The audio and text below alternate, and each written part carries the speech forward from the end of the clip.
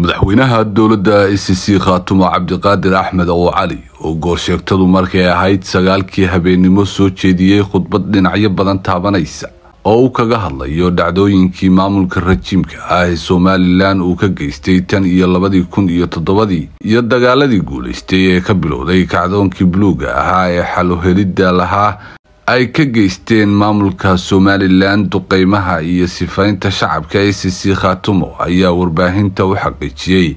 Halgankii s c khaatumo inuu ahaa mid guulaystay madaxweyne cabdiqaadir axmed caaw cali ayaa ka warbixiyey dhacdooyinkii dagaal isagoo si guudna uga warbixiyey xaalada guud ee gobollada s c waxaana uu yidhi bismi illaahi raxmaan raxiim alxamdu lilaahi rabbi alcaalamiin uma asalaatu wasalaamu calaa nabiyina muxamedi wacalaa aalihi wasaxbihi wasalim ilaah baa mahad iska leh mahadda ilaahay ka sokow waxaan rabaa halkan inaan ka jeediyo bayaan ka hadlaya ama ku saabsan guud ahaan xaaladda degaanada s c khaatumo iyo gaar ahaan warbixin koobaysa dagaalkii shalay magaalada ka dhacay ee dhex maray ciidamada xaqadureerka s c iyo maleeshiyaadkii muuse biixi cabdi.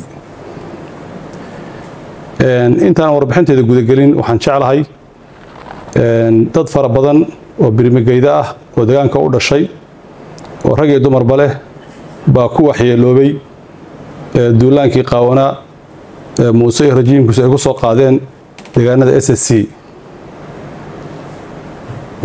Waxaan halkan tacsi uga dirayaa dhammaan eheladii dadkii ku waxyeeloobay duulaankaas uu soo qaaday muuse biixi ee ku dhintay dagaalkii bayrhka ah ee uu kala hortegay dadkii bannaanbaxayaasha ahaa ama ku dhintay duqayntii isdabajoogga ahayd ee muddada sideeda bilood oo muuse ka waday magaalada lascaanood. Waxaan leeyahay intii ku dhimatay ilahay ha u naxariisto intii ku dhaawacantayna ilahay subxana watala hauba oga dhayo intii ku barakacdayna iyagoo badqaba ilaahay subxana wa tacala ha ku soo celiya guryahoodii oo aamin ah shalayto waxaa dhacay dagaal. Dagaalkaasi wuxuu ka dhacay magaalada lascaanood wuxuuna ku fiday dhul dhan masaafo boqol kilomitir ah. Dagaalkaas masaafada intaa le ka dhacay sababtiisa waxaa lahaa muuse biixi cabdi. Waayo muuse biixi cabdi muddo sideed bilood ah buu dagaal ku waday iyo duqeyn magaalada lascaanood iyo hareeraheeda muddada intaa leeg muuse waxbaan waana waa diiday. Haddii la yidhi xabadda jooji oo soomaaliya dowladaha deriska beesha caalamka iyo waxgarad kale oo soomaaliyed isku dayeen muuse biixi cabdi waa diiday inuu duulaanka qaawan iyo tacdiyada uu joojiyo. Tacdiyada muuse uu sida isdabajooga u waday waxaa ka dhashay in dadka degaanka ahi ay go'aansadeen inay tacdiyada muuse iyagu gacmahooda ku joojiyaan. Sidaa daraaddeed shalayto dagaal baa ka dhacay. Saldhiggii uu ka deganaa degaanka kan ee gooja cadde. Dagaalkaas waxaa qaaday ciidamada xaqudirarka s c iyo hiil harti dagaalkaasi waxa uu bilaabmay afartii habeennimo taariikhdu markay ahayd kii agost. Wuxuu soo afjarmay sideedii subaxnimo. Dagaalkaasi wuxuu soconayey shantii lixdii toddobadii iyo sideeddii afar saacadood buu soconayay.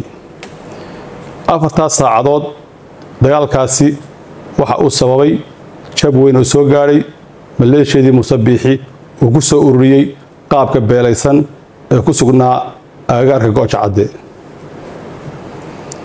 Maleeshiyadaas waxaa soo gaadhay jab weyn oo runtii la odhan karaayo wuxuu noqon doonaa jab taariikhiya oo aan hore uga dhicin geyga soomaaliyeed. Ciidan ciidan labiiyo soddon sannood la ururinayey la tababarayey oo lagu barbaarinayey nacaybka iyo gumaadka dadka degaanka kan baa meeshaa ku sugnaa. Dadkan dulqaad fara badan ay sameeyeen kadib waxay go'aansadeen in ay joojiyaan gacmahooda ku joojiyaan muuse wax shakiya kuma jiro muuse inuu weli u hamuun qabo dagaal oo uu doonayo inuu dhibaato kale sii geysto.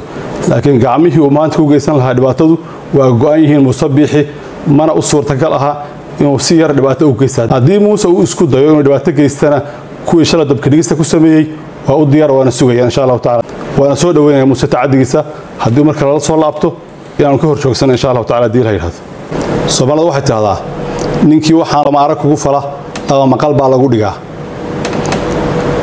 Waxaan ballan qaadnay in jawaabteedu ay noqon doonto midaan hore loo maqlin. Waxaan ku faraxsanahay oo aan aad iyo aad ugu kalsoonahay in jawaabteeda ay noqotay waxaan hore loo arag aan hore loo maqal. Caqliga iyo garashadu waa ka maqan tahay waxa uu garanayaana waxay ahayd inuu wax dilo oo wax burburiyo. Sidaa daraaddeed luqaddii uu yaqaanay baa dadkana go'aansata inay kula hadlaan iyadiibuuna fahmay markii ugu dambaysay luqaddaasi waxa weeyaan in muuse la tuso in burburka laga jawaabi karayo in dilka laga jawaabi karayo in gumaadka laga jawaabi karayo.